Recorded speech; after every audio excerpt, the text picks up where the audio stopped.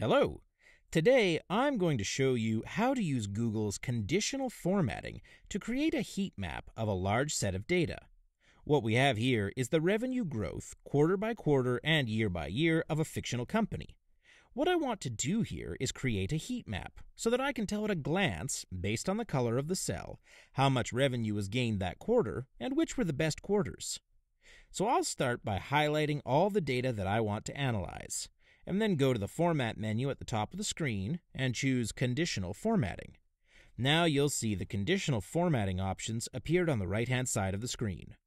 Now I'm going to click on the Color Scale tab in this box. Under my minimum value, I'm going to choose a lighter color, white, but then under max values, I'm going to choose this dark green. For a midpoint, in order to ensure an even distribution of data, I'm going to choose percentile. Now, as soon as I do that, you can just see at a glance that 2014 was the best year with the highest revenue. We can also see that quarter 2 and quarter 3 tend to perform better than quarters 1 and 4.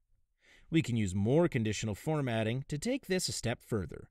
So I'd like to make it so that all revenues that are above $300 are bolded. So to do this, I'm going to once again highlight all my data. Then I'm going to click on Add New Rule. Now from the Single Color tab, I'm going to use the Format Cells If menu to select Greater Than, and then enter $300 in the text box. Then I'm going to indicate that these cells should be bolded, and then click Done. Now we can see that all those quarters with revenue over 300 have been bolded. I think these are a great set of tools, as they allow us to analyze data very quickly in a single glance, without having to use complicated formulas to provide us with the information we're looking for.